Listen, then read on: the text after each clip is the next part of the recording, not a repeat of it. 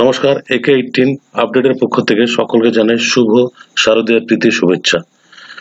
আপনারা ইতিমধ্যেই ISMS portal একটি নোটিশ লক্ষ্য করছেন, আজকে নোটিশটা পাবলিশড হয়েছে।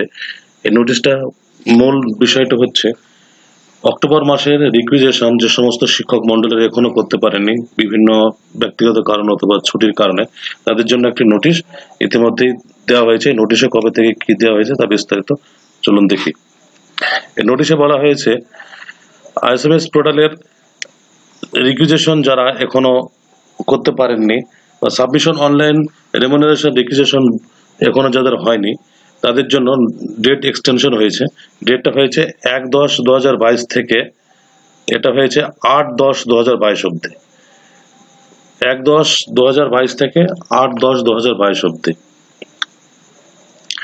forward online requisition receive for nodal polytechnic এগুলো সব অফিসিয়াল ব্যাপার পলিটেকনিক ওরা ফরওয়ার্ড করবে নয় দশ দু হাজার বাইশ বাইশ তারিখে।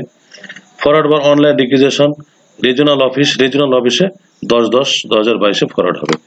তো এই রিকুইজেশন যারা এখনও করতে পারেননি, তারা অবশ্যই রিকুইজেশনটি করে নেবেন। অক্টোবর মাসে রিকুইজেশনে কিছু টেকনিক্যাল সমস্যা হচ্ছে, অনেকেরই হয়েছে। তো রিকুইজেশনটা যারা এখনও আমরা করতে পারিনি, তারা রিকুইজেশনটা করে নেবেন।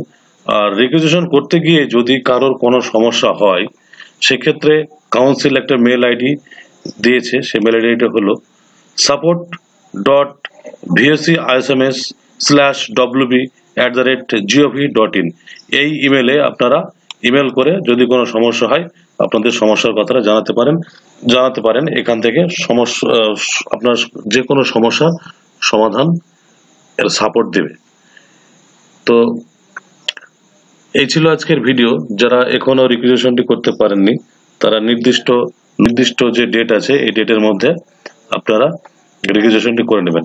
আর আপনাদের কাছে ছোট্ট একটি রিকোয়েস্ট আমার চ্যানেল এখনও যারা সাবস্ক্রাইব করেননি প্লিজ সাবস্ক্রাইব করে দেবেন।